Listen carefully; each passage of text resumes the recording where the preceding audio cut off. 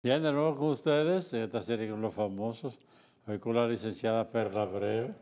Bella como siempre, ¿cómo se siente? Gracias, don Carlos. Muy bien, gracias a ¿Es Dios. verdad? Muy, pero muy bien. Al viernes del trabajo. sí. Vengo del trabajo, don Carlos. Ah, qué bien. Mucho trabajo.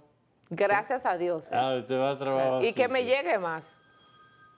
Usted va al trabajo así, sí. Pues yo tengo que ir bella, don Carlos. Yo tengo que representarlo a usted. Ah, me ese- representa a mí. Es a usted que lo van buscando allá en la oficina. Y Ah. eso es, dámele saludo a don Carlos, dámele un abrazo a don Ah. Carlos. Dile que lo quiero mucho. Eh, me que somos de Barahona los dos. Ah, me representa a mí. Claro, todo yo lo represento a ¿Es usted. verdad, Beni, eso? Eh, bueno, yo como que... Don Carlos no se lleve de ver. Además, tú que tienes que estarte metiendo en la Sí, vida. exactamente, exactamente. ¿Eh? Yo no entiendo. Ese ¿Cómo señor me quiere llevar la vida. Le llevándole la vida él.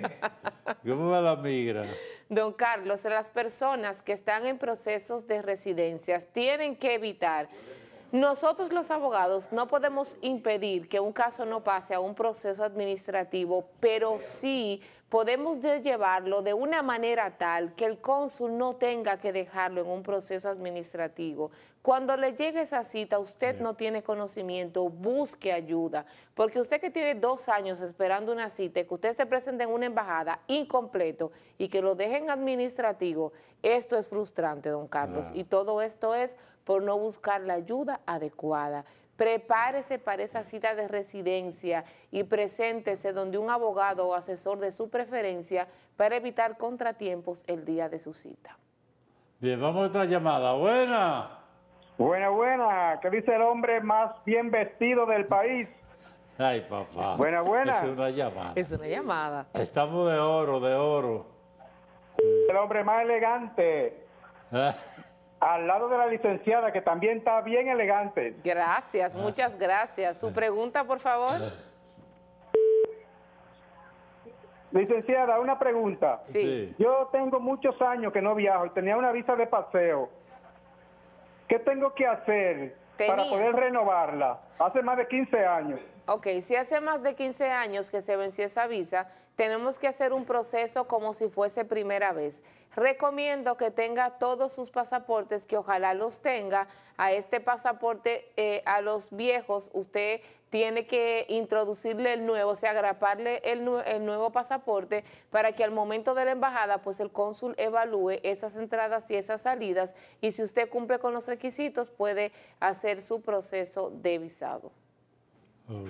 Así es. ¿Y cómo va la, la, aquí, cómo va el movimiento en la consulada? Las citas, don Carlos, la es- las citas están, don Carlos, para el mes de junio del año 2025.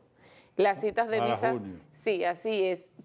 Programarla, tenemos un sistema, don Carlos, que ese sistema, wow, qué sistema nuevo, pero es el que tenemos y tenemos que aceptar todo lo que trae.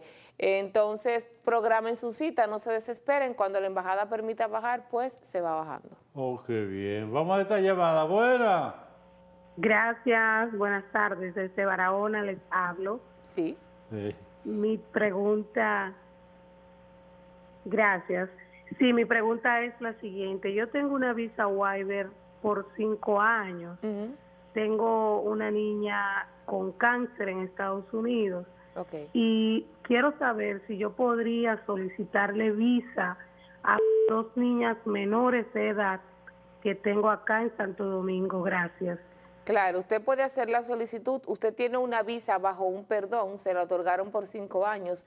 Me imagino yo que usted se está, se está portando bien con la visa. Si, está portando, si se está portando bien y tiene los recursos económicos, puede hacer la solicitud de la visa de las niñas que tiene aquí, pero no es un proceso de visa donde solamente se va a depositar, porque usted no tiene visa de 10 años. Usted tiene una visa especial. Bien, vamos a la pausa, a ver. Volvemos en breve.